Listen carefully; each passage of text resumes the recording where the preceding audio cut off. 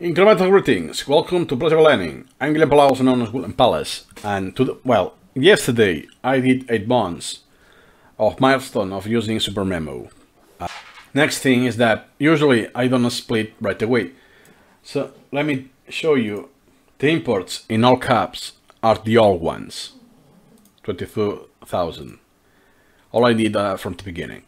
What I do also is um, to split right away unless the topic is very hard to auto split, I do it right away.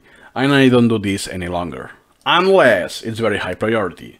So now imports in lowercase, as you can see, this is more recent. That's from, yeah, uh, 10 days ago, something like that. So now I don't split. If it's not that important, look at the priority, it's, it's very low.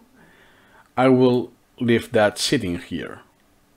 Unless I need something, one specific part.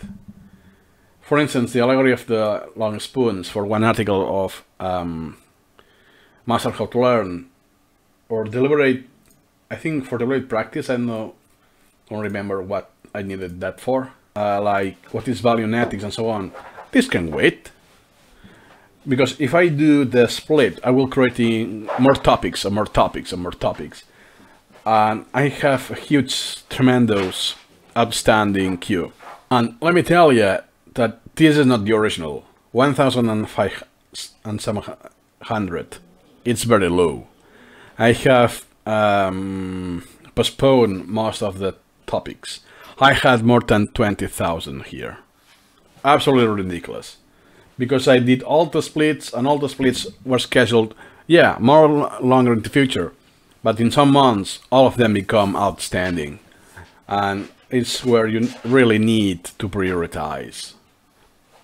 Even if I will spend all my day, I, I won't get it done.